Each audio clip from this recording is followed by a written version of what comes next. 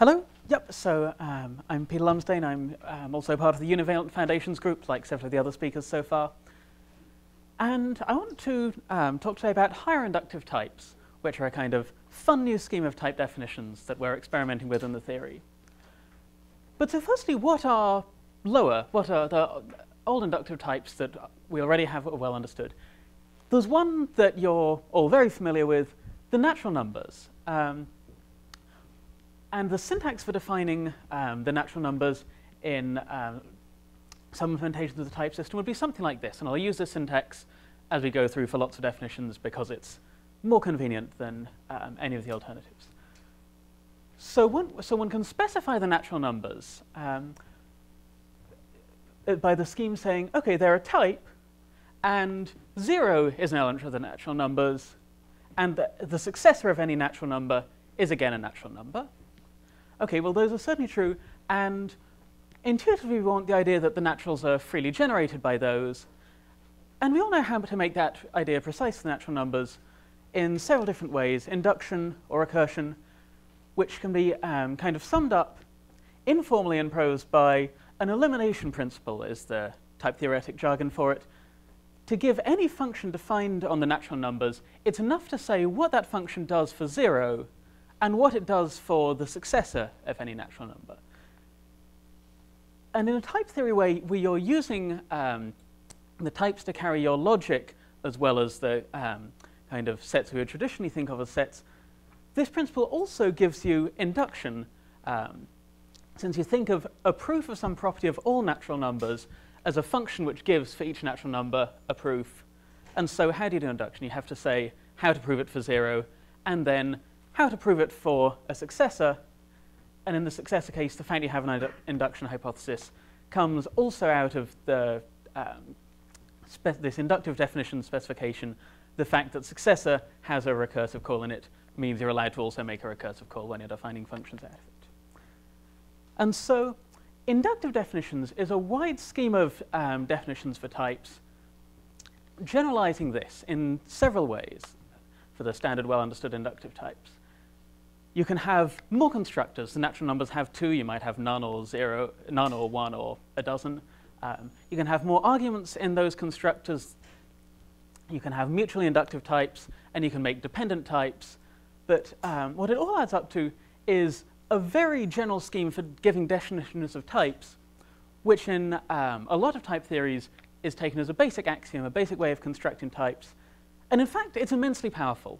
Together with function types, it turns out that that gives you a type theory expressive enough to use as a foundation of mathematics. Um, and that's sort of the starting point for a lot of um, what a lot of the type theories that we're looking at um, in the Foundations group. The semantics of these sorts of inductive definitions are fairly well understood. Um, one can reasonably say very well understood, but there are lots more bells and whistles that some people can add, and the more bells and whistles you add, then the shakier some of the semantics get. But certainly for the main core, um, there is a large core of um, a wide family of inductive definitions which is wide enough to be very powerful and has very well understood semantics. They're also very nicely suited to implementation and computation, and Dan talked about this a bit on Friday. Um, it, um, it's both very practical for writing proof systems from a theoretical point of view, that's saying that the proof theoretic um, properties of the systems um, therein are very nice indeed. But the particularly interesting and perhaps surprising thing about these, from our point of view, is that they give us these um, identity types, equality types, as they were originally called when they were um, first defined, which were intended for representing equality in the logic. But, as has um, recently um, been found and kind of gives the main impetus for what we're doing in the special year, those equality types can actually be seen as path types, and they can carry, um, they can be a lot more non-trivial than one thinks of equality as being. And so that lets one think of the types on the reasoning about not as sets, as they were originally envisaged, but to um, use it as a logic for talking about things that seem to behave like spaces. In particular, they could be homotopically non-trivial. Path types, a quality one thinks of as it's either true or it isn't, whereas a path type in a space path objects could have lots of different paths between the same thing. So this gives us a way to reason about homotopically non-trivial objects. But we also want, if we want to do homotopy, type, homotopy theory in the type theory, we also need ways to construct homotopically non-trivial objects. And so that's what higher dimensional inductive types. So higher inductive types are short, but the higher is short for higher dimensional. That's the um, impetus, the main motivation for defining them. We generalize um, the inductive definitions that are taken as axioms of the type theory to allow constructors giving paths. In most inductive types, in normal inductive types, as in the natural numbers, each constructor ends up giving you a point of the space. So both 0 is a point of the space, and successor, it takes in some arguments, an old point of the space, and it gives you a new point in the natural numbers. But, but if we generalize this and allow constructors to also give paths, then you can get some interesting new things. So say we want to think of the circle as it's a space, the type, freely generated by, well, we, we put in a base point, and then we put in a path from that um, point to itself. And since we, we, we're already able to talk about paths, this is something we can specify, and it's something which, with a bit of thought, we can write down the elimination principle.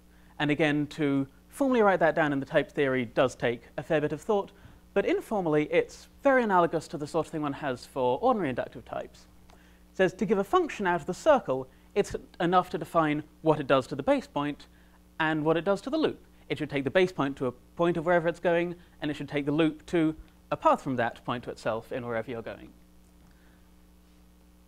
And so this gives us a candidate for um, a type which we might call the circle. So how can we use it? How can we get a feel and see, is it really anything like what we think the circle should behave like? So just looking at, um, so the answer is yes, it does. It does seem to behave nicely like that. Um, but looking at one example of the sort of thing one can do, which gives a kind of taster for um, how one can use this rule. What is a dependent type over the circle? What's, so we think um, of dependent types over a, over a type, originally they were thought of as, well, it's a family of sets indexed by some set. It's a map from your base set into the universe of all sets. But if we think of spaces, we want to think of it as a continuous map into the family of spaces. And so when one models that, when one gives semantics, gives models in um, standard categories of spaces, one models dependent types as fibrations. And so we tend to think of these two things interchangeably in the theory and the language. But formally in the theory, that's represented by a map from, from the circle to the universe of types. Okay, that's a map out of the circle, so our elimination principle says, so it's specified exactly by a type, a point of this, which is the image of the base point, and then a path from x to itself in type. So a point and then a path from that point to itself. But if we have the univalence axiom, that path from x to itself, it's an equality between types. And that's exactly an equivalence between types. So we're looking for a type x and an endo-equivalence of the space itself. So um, in fibration language, that endo-equivalence will um, correspond to the action of transporting around the loop. And if you're familiar with um, vector bundles in the language of clutching functions, this may start to sound, um, start to be ringing a bell. So, for example, if we take what's, um, what's an interesting, what's a kind of comparatively accessible example of a, a type and a non-trivial equivalence from it to itself, so not just the identity. The integers and the map adding one to an integer, that's an isomorphism, so it's certainly an equivalence. What do you get? Well, if we um, we have here, we've got the circle, and we're, we're saying we have the base point. So the fiber over the base point is supposed to be, you get a copy of the integers, and we're specifying that the action of transporting any point up here in the fiber around the loop sends x to x plus 1. So that's saying in our fibration, you kind of, you go around once, it's not quite a big enough loop. Um, but you go around once over the original thing, and you get back to the fiber over the base, but now you're one higher than you were before. And similarly, you can go around again And each time, each time you go around over the circle, it takes you around to one higher than you were before. And so this, at least hand wavily, it looks like it's defining the helix, the universal cover um, of the circle. And with a bit of work in the type theory, one can take this, play around with it, and yep, it does give you the universal cover of the circle. It gives you a kind of way into arguments like the fundamental group of the circle, um, and so on internally. So this is the sort of way that the elimination principles for higher inductive types give you the kind of things that you want homotopically. So the circle's sort of the simplest example that one can lead off with, but there's quite a lot of different flavors of things you can get out with them. You can make the mapping cylinder of any function. Um, you can say, well, you take a, um, you have a function x to y, you take a copy of y, you take a copy of x, um, and then we give paths from everything in the copy of x down to its image in the copy of y. And if we set this up in, right in the type theory, we can get it so that it's automatically fibered over y. And then that, it gives us something which acts very much like a cofibration trivial fibration factorization. And in particular, it lets us um, construct um, essentially all the main parts of a Quillen model structure and so it gives us a lot of building blocks for transferring um, standard homotopical arguments into the type theory. Another thing one can do with a slightly different flavor, one can get pi naught, the connected components of something, which um, one thinks of as, the, uh, one can think of in spaces as a reflection taking any space and putting it into a homotopically discrete space, one that's equivalent to a set. And to do this, we need to end up using something which is actually properly recursive, like the natural numbers were. One of the constructors takes in arguments from the type that we're constructing. But that's okay, the scheme gives a clear eliminator we can write, and it still works nicely. Um, just as a less toy example, this one is uh, Mike Shulman um, pointed it out, a kind of fun, interesting, more elaborate example. One can define spectra and pre-spectra. So um, Previous spectra is a certain sequence of pointed spaces with maps between them and each other's loop spaces. Wants, a, so a spectrum is a particularly nice one when these maps are always equivalences.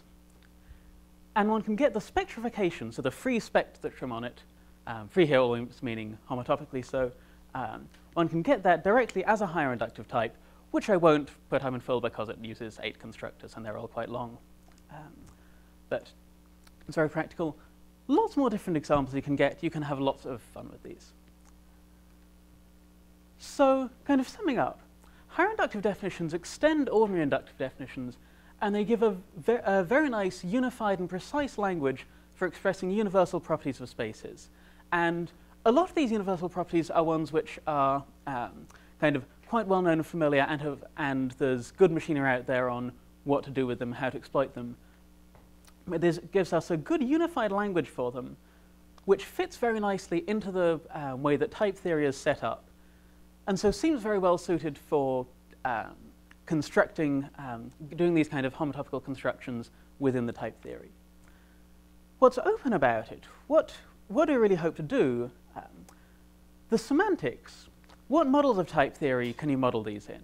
So we have some nice theorems about this so far if you've got some decently well-behaved, um, locally presentable Quillen model categories, you can model these and those um, by unwinding the definition into an iterative construction.